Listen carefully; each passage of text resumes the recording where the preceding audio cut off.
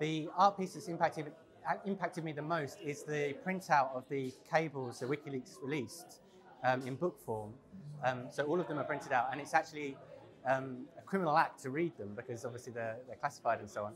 And so I think that act of, of putting, them on, putting them on paper and letting everybody read them is uh, subversive in itself.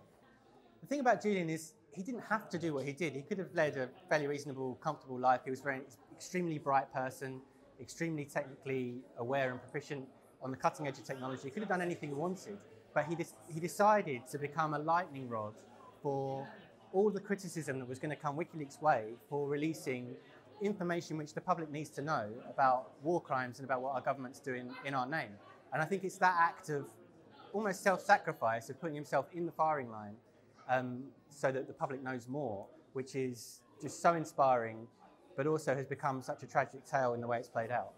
Well, the shocking thing about his case is obviously the fact that the legal system, which we assume treats everybody equally, in, in his case, obviously is influenced by politics and by the interests of very powerful states like the United States of America and the United Kingdom.